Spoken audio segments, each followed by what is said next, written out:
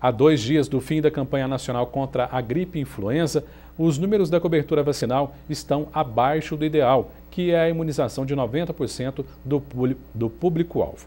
Em Varginha, cerca de 25.500 pessoas fazem parte dos grupos de risco e o repórter Jonas Loureiro foi conferir como está esse trabalho. A campanha nacional de vacinação termina agora nesta sexta-feira, mas aqui em Varginha pouca gente veio se vacinar. Eu estou aqui com a Roseane, que é coordenadora do setor de epidemiologia, e vai falar houve uma baixa adesão das pessoas esse ano, né? Olha, infelizmente, essa é uma realidade não só de Varginha, mas também a nível nacional, em Minas, todo, né?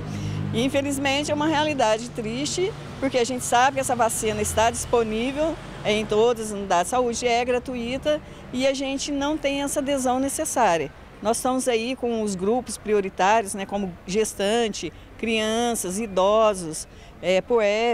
Então são grupos de risco que foram aí selecionados pelo Ministério da Saúde para que receba a vacina justamente para evitar as complicações. E a gente vê essa, uma baixa adesão em todos os grupos. Né? Então, até o momento, nós estamos aí com 59% é, de pessoas vacinadas. A meta era atingir quantas pessoas? Olha, o ideal é que a gente tivesse 100%, mas pelo Ministério da Saúde, a meta ficou em 90%. Mas ainda dá tempo para quem quiser se vacinar? Sem dúvida, né? É até sexta-feira. A vacina vai estar disponível nas unidades de saúde. Então, todos aqueles que ainda não se vacinaram, por favor, levem. No caso de criança, a família ou um responsável deve levar essa criança para vacinar. E no caso do idoso também. Então, aquelas pessoas que podem ir é, sem nenhum responsável, que procurem a unidade de saúde para receber essa vacina. Levem o seu cartão de, de vacinação e lá ela vai ser orientada né, para receber essa dose de vacina. Mas não deixem de ir, né? nós vamos estar aí até na sexta-feira, então mais uma vez a gente ressalta aí a importância dessa vacinação. Lembrando que a gripe é uma doença perigosa que pode até matar. Ela é uma doença grave, né? Que quando a pessoa, em muitos casos, ela leva aí a hospitalização.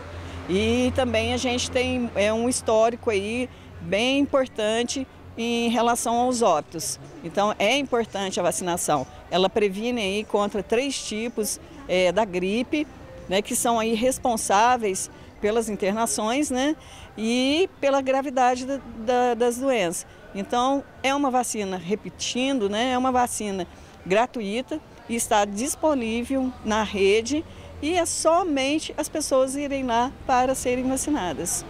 Ok, Rosiane, muito obrigado por suas informações. Jonas Loureiro para o Jornal Cidade. Como ainda dá tempo de receber a dose, se você faz parte dos grupos de risco, aproveite para comparecer em uma unidade básica de saúde. Não se esqueça de levar a caderneta de vacinação.